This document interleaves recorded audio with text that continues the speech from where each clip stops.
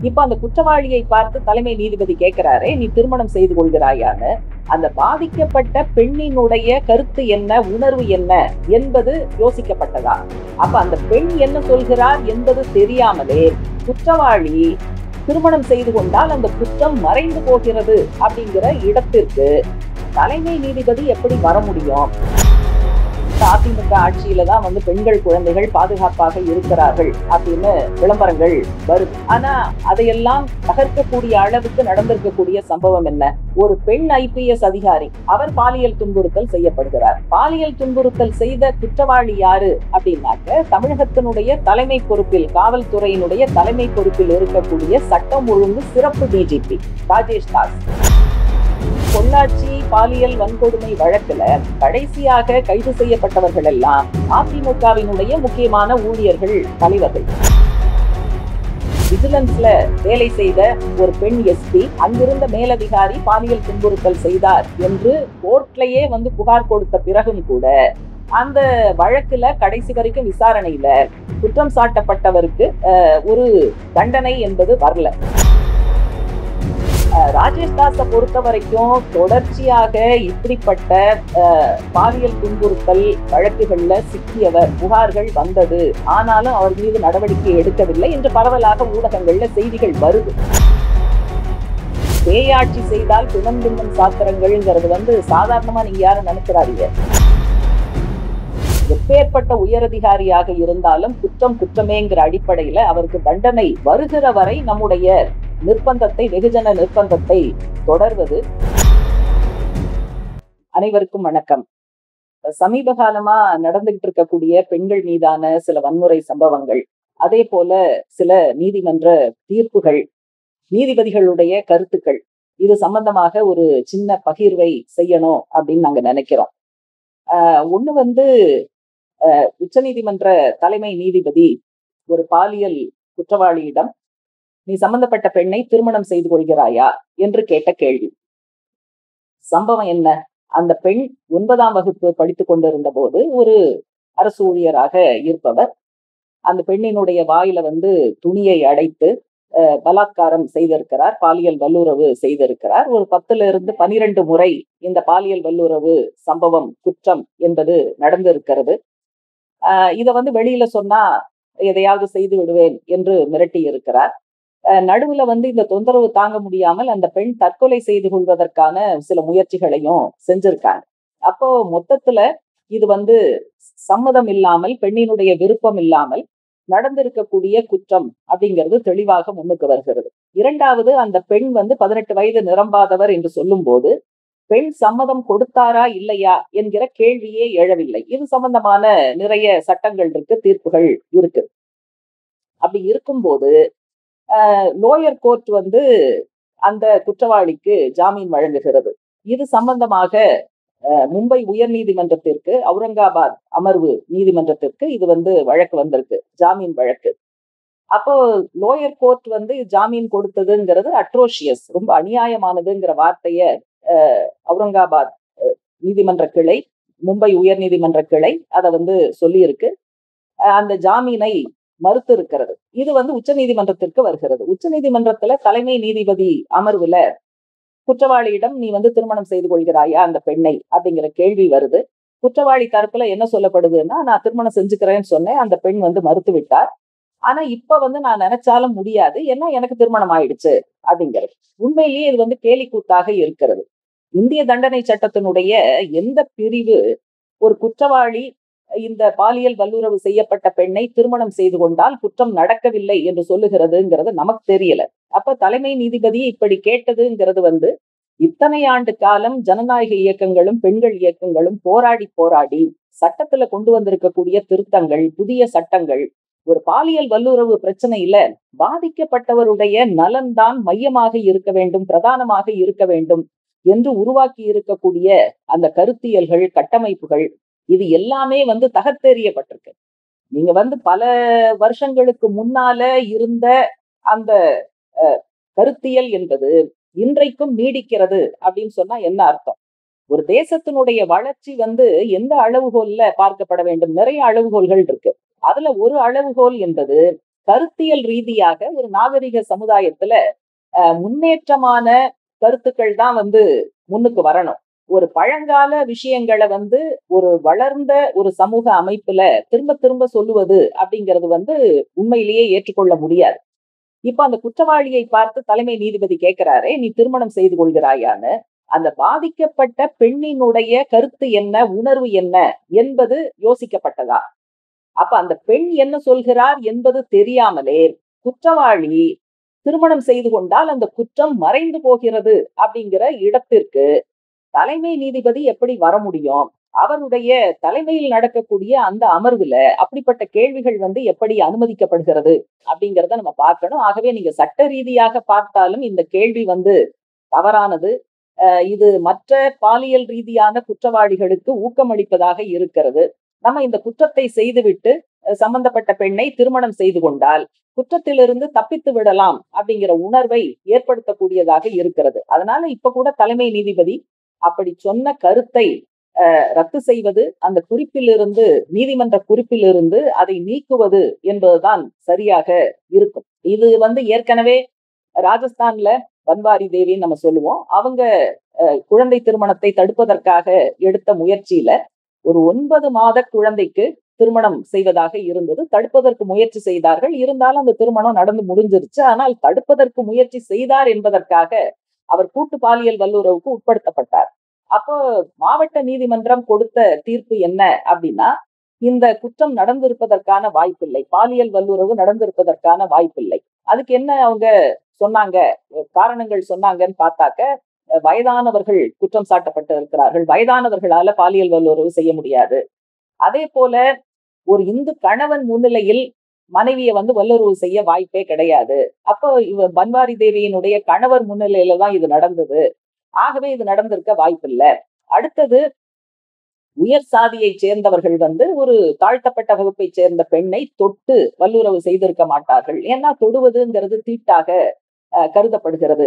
அல்லது உறவினர்கள் ஒரு மாமாவும் அவருடைய உறவினரும் இள இளைஞன் இருக்கக்கூடிய இருவருமே வந்து குற்றம் சாட்டப்பட்டவர்களாக இருக்கிறார்கள். அப்படி பெரியவர்களுக்கு முன்னால் ஒரு உறவினர் இளவயதுக்கார பையன் அதை வந்து செஞ்சிருக்க மாட்டான் அப்படின்னு சொல்லி பழைய பஞ்சாங்க காரணங்களை சொல்லி அத்தனை பேரும் அந்த குற்றத்திலிருந்து விடுவிக்கப்பட்டார்கள். பெண்கள் இயக்கங்களுடைய மிக நீண்ட போராட்டங்களுக்கு பிறகுதான். விஷாக்கா தீர்ப்பு என்பதே உச்சநீதிமன்றத்தால கொடுக்கப்பட்டது. பணியிடங்களில் பாலியல் துன்புறுத்தல் செய்தால் அது சட்டப்படி குற்றம்னு. இப்ப ரெண்டாயிரத்தி பதிமூணுல அது வந்து சட்டமாக்கப்பட்டிருக்கு. அப்ப கடந்த காலத்துல பாலியல் வல்லுறவை பார்த்த விதம் என்பது வேறு. இன்றைக்கு காலம் முன்னேறி இருக்கக்கூடிய சூழல்ல சட்ட திருத்தங்கள் எல்லாம் வந்துவிட்ட பின்னணியில வர்மா கமிஷனுடைய பல திருத்தங்கள் ஏற்றுக்கொள்ளப்பட்டு ரேப் லா அமெண்ட்மெண்ட் எல்லாம் வந்ததுக்கு பிறகு கூட ஒரு பெண்ணை பற்றிய ஒரு பழைய பஞ்சாங்க பார்வை ஆணாதிக்க பார்வையோடு பெண்ணடிமைத்தன பார்வையோடு இப்படியான கருத்துக்கள் வந்து தலைமை நீதிபதி வாயிலிருந்து வருவதுங்கிறது கொஞ்சம் கூட ஏற்றுக்கொள்ளக்கூடியதல்ல சகித்துக் கொள்ளக்கூடியதல்ல தமிழகத்துல நடந்திருக்கக்கூடிய விஷயம். தமிழக முதலமைச்சர் பக்கம் பக்கமாக ஊடகங்கள்ல விளம்பரம் கொடுக்கிறார். அதுல வந்து எங்களுடைய ஆட்சியில அதாவது அதிமுக ஆட்சியில தான் வந்து பெண்கள் குழந்தைகள் பாதுகாப்பாக இருக்கிறார்கள் அப்படின்னு விளம்பரங்கள் வருது. ஆனா அதையெல்லாம் தகர்க்கக்கூடிய அளவுக்கு நடந்திருக்கக்கூடிய சம்பவம் என்ன? ஒரு பெண் ஐபிஎஸ் அதிகாரி அவர் பாலியல் துன்புறுத்தல் செய்யப்படுகிறார். பாலியல் துன்புறுத்தல் செய்த குற்றவாளி யாரு அப்படின்னாக்க தமிழகத்தினுடைய தலைமை பொறுப்பில் காவல்துறையினுடைய தலைமை பொறுப்பில் இருக்கக்கூடிய சட்டம் ஒழுங்கு சிறப்பு டிஜிபி ராஜேஷ் தாஸ். அவர் மீது குற்றம் சுமத்தப்படுகிறது. இப்ப எஃப்ஐஆர் போடப்பட்டிருக்கு. சிபிசிஐடி அந்த விசாரணைய கையில எடுத்திருக்கு. இதுவும் வந்து பணியின் போது நடந்த பாலியல் துன்புறுத்தல். இப்ப எஃப்ஐஆர்ல வந்து ஐபிசி செக்ஷன்ஸ் எல்லாம் போட்டிருக்கு. அது ஓகே. ஆனா இந்த ரெண்டாயிரத்தி பதிமூணுல கொண்டு வரப்பட்ட இந்த சட்டம் பணியிடங்களில் பாலியல் துன்புறுத்தலிலிருந்து பெண்களை பாதுகாக்கக்கூடிய அந்த சட்டத்தினுடைய பிரிவுகளையும் போட்டிருக்கணும். ரெண்டாவது அவர் வந்து காத்திருப்போர் பட்டியல்ல தான் வைக்கப்பட்டிருக்காரு. அப்ப வந்து ஆஸ் ஆன் டேட் அவர் வந்து அந்த பொறுப்பில் இன்னமும் நீடிக்கிறார். அந்த டிஜிபியில இருந்து அவர் எடுத்திருக்கலாம். ஆனா காத்திருப்போர் பட்டியல்ல இருக்காரு. அவர் வந்து பணியிடை நீக்கம் செய்ய வேண்டும் என்பது நம்முடைய வலுவான கோரிக்கையா இருக்கு. அவர் வந்து பணியில் இருக்கும் போது இந்த விசாரணை என்பது முறையாக நடக்காது. மூணாவது விஷயம் இதுல என்னன்னு பாத்தீங்கன்னா சிபிசிஐடி என்பது டிஜிபிக்கு கீழே செயல்படக்கூடிய ஒரு பிரிவு தான். அப்ப இதுல இன்வெஸ்டிகேஷன் ஆபீசர் விசாரணை அதிகாரி நிச்சயமாக வந்து டிஜிபி ரேங்குக்கு கீழே தான் இருக்காங்க. பணியிடங்களில் பாலியல் துன்புறுத்தலை விசாரிப்பதற்கு கமிட்டி அமைக்கணும்னு சொல்லும் போதே அந்த கமிட்டியினுடைய தலைவர் அந்த குற்றம் சாட்டப்பட்டவரை விட கொஞ்சம் மேலான பொறுப்பில் இருக்க வேண்டும் அப்படிங்கிறது தான் உச்சநீதிமன்றத்தினுடைய விஷாக்கா தீர்ப்பினுடைய சாராம்சம். ஸ்பிரிட் வந்து அதுதான். ஆனா இதுல இங்க சிபிசிஐடிங்கிறது வந்து நிச்சயமாக குற்றம் சாட்டப்பட்டவரை விட ஒரு கீழ்நிலையில் பொறுப்பில் இருப்பவர்கள். அப்ப இந்த விசாரணை எப்படி முறையாக நடக்கும்ங்கிற கேள்வி இருக்கு. நல்ல வேளையாக சென்னை உயர்நீதிமன்றம் தாமாக முன்வந்து இந்த பிரச்சனைய கையில எடுத்து இந்த விசாரணையை நாங்கள் கண்காணிப்போம்னு சொல்லியிருக்காங்க. ஆகவே அனைத்திந்திய ஜனநாயக மாதர் சங்கம் கூட கோர்ட் கண்காணிப்பின் கீழ் இந்த விசாரணை நடக்க வேண்டும் என்று கேட்டு இருக்கிறார்கள். அந்த அடிப்படையில கோர்ட்டும் முன் வந்து இதை எடுத்திருக்கு. இப்ப இதுல பிரச்சனை என்னன்னா இது தமிழக முதல்வருடைய சுற்றுப்பயணத்தின் போது பந்தோபஸ்துக்காக வந்த போலீஸ் அதிகாரிகள். அதுலதான் இது நடந்திருக்கு. ஏற்கனவே பொள்ளாச்சி பாலியல் வன்கொடுமை வழக்குல கடைசியாக கைது செய்யப்பட்டவர்கள் எல்லாம் அதிமுகவினுடைய முக்கியமான ஊழியர்கள் தலைவர்கள். அப்ப இந்த மாதிரியான பரவலாக பல பெண்களை பாலியல் வன்கொடுமை செய்யப்படுகிற வழக்குகள்ல ஆளுங்கட்சியை சேர்ந்தவர்கள் ஏதோ ஒரு விதத்துல நேரடியாக குற்றம் செய்தவர்களாக அல்லது குற்றவாளிகளுக்கு துணை போனவர்களாக. இப்படியான பல மட்டங்கள்ல ஆளும் கட்சியினுடைய பிரமுகர்கள் இருக்கிறார்கள்ங்கிறத பல வழக்குகள்ல நம்ம பாக்குறோம். அது வந்து மத்திய ஆளுங்கட்சியாக இருக்கலாம் அல்லது மாநில ஆளுங்கட்சியாக இருக்கலாம். இப்போ அந்த சம்பவம் ஒண்ணு நடந்திருக்கு. இங்க வந்து சட்டம் ஒழுங்கு பிரச்சனையை பார்க்க வேண்டிய இப்படியான குற்றங்கள் நடக்கும் போது அதில் தலையிட வேண்டிய காவல்துறையில் இருக்கக்கூடிய ஒரு பெண் உயர் அதிகாரிக்கு இது நடந்திருக்கிறது. காவல்துறையில் இருக்கக்கூடிய ஒரு டாப் மோஸ்ட் உயர் அதிகாரி இந்த குற்றத்தை செய்திருக்கிறார்னு சொன்னா அப்ப தமிழகத்துல இருக்கக்கூடிய சாதாரண பெண்களுடைய நிலைமை என்னங்கிறத பார்க்கணும். ஏற்கனவே விஜிலன்ஸ்ல வேலை செய்த ஒரு பெண் எஸ்பி அங்கிருந்த மேலதிகாரி பாலியல் துன்புறுத்தல் செய்தார் என்று கோர்ட்லயே வந்து புகார் கொடுத்த பிறகும் கூட அந்த வழக்குல கடைசி வரைக்கும் விசாரணையில குற்றம் சாட்டப்பட்டவருக்கு ஒரு தண்டனை என்பது வரல. அப்போ நீங்க உயர் அதிகாரிகள் காவல்துறையை சேர்ந்தவர்கள் குற்றவாளிகளாக இருக்கக்கூடிய வழக்குகளில் முறையான தீர்ப்பு அல்லது விசாரணை நடக்காமல் இருப்பதும் இந்த மாதிரியான குற்றங்களை ஊக்குவிக்கிறது. இப்ப கூட அடுத்தது என்ன பண்ணிருவாங்கன்னா அந்த பெண் ஐபிஎஸ் அதிகாரியினுடைய நடத்தையை பற்றி பக்கம் பக்கமா எழுத ஆரம்பிச்சிருவாங்க. அடுத்தது இவங்க ஏன் கார்ல ஏறினாங்க?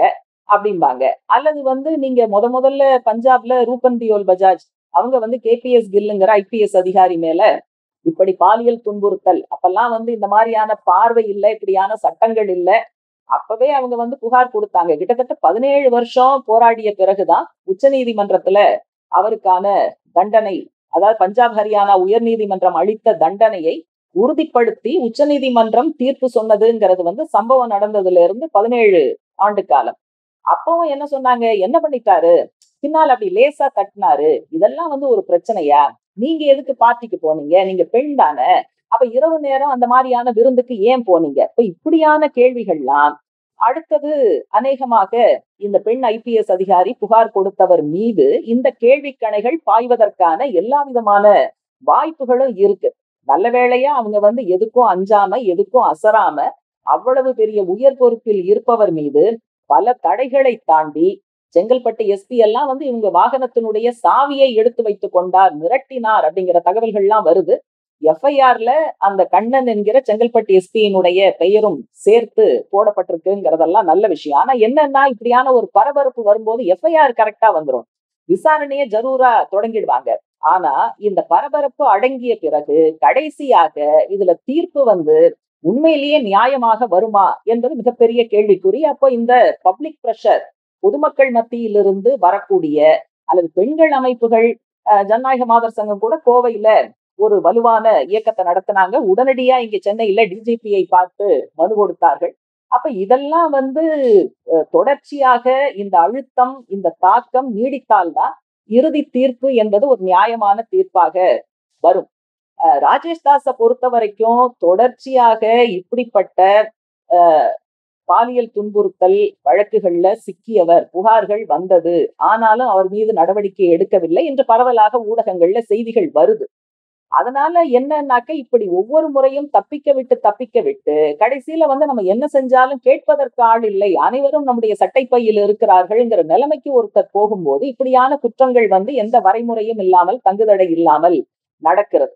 அப்ப இது வந்து பொதுமக்களுடைய அந்த நிர்பந்தத்தின் மூலமாகத்தான் நம்ம வந்து நியாயமான தீர்ப்புக்கு வர முடியும். இப்ப பேயாட்சி செய்தால் பிணம் தின்னும் சாத்திரங்கள்ங்கிறது வந்து சாதாரணமா நீங்க யாரும் நினைச்சிடாதீங்க இப்ப வந்து வலதுசாரி கருத்தியல் அரசியல்ல வலுவாக வரும்போது எல்லாருமே அரசியல்ல அதனுடைய தாக்கம் என்னங்கிறது தான் நம்ம வந்து பாக்குறோம்.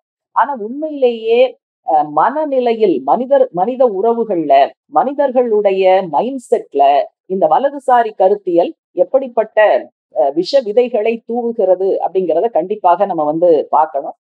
இப்ப வந்து பாதிக்கப்பட்ட பெண்ணை இவ்வளவு கேவலமாக பேசுவதும் இவங்க பேர்ல தான் தப்பு இருக்குங்கிறதும் கடந்த காலத்தை விட வலுவாக வந்து கொண்டு இருப்பது இந்த வலதுசாரி கருத்தியலினுடைய வளர்ச்சியினுடைய ஒரு தாக்கம் அப்படிங்கிற அந்த இணைப்பை நம்ம வந்து பார்க்காம இருக்கக்கூடாது. எனவே இப்படிப்பட்ட சம்பவங்கள்ல பாதிக்கப்பட்ட பெண்ணுக்கு ஆதரவாக நிற்பது. எப்பேற்பட்ட உயரதிகாரியாக இருந்தாலும் குற்றம் குற்றமேங்கிற அடிப்படையில அவருக்கு தண்டனை வருகிற வரை நம்முடைய நிர்பந்தத்தை வெகுஜன நிர்பந்தத்தை தொடர்வது. பெண் சமத்துவ கருத்தியலை இன்றைக்கு இருக்கக்கூடிய வலதுசாரி கருத்தியலுக்கு பதிலாக அந்த கருத்தியலை புறம் தள்ளி சமத்துவ கருத்தியலை முன்னுக்கு கொண்டு வருவது அப்படிங்கிற இந்த விஷயங்கள் தான் இன்றைக்கு நம்முடைய டிஸ்கோர்ஸாக டிபேட்டாக இருக்கணும். இதை தாண்டி பெண்ணினுடைய நடத்தை அல்லது திருமணம் செய்து கொண்டால் குற்றமில்லை அப்படிங்கிற விஷயங்களுக்குள்ள போனோம்னு சொன்னா இத்தனை ஆண்டு காலம் நாம் நடத்திய போராட்டங்கள் எல்லாம் வீணாக போய்விடும் பின்னுக்கு தள்ளப்படும். இதை மனதில் வைத்து நம்ம இதுல பாதிப்புக்கு உள்ளான பெண்ணுக்கு ஆதரவாக இருந்து குற்றவாளி தண்டனை வாங்குகிற வரை நம்முடைய அந்த நிர்பந்தத்தை தொடர வேண்டும்.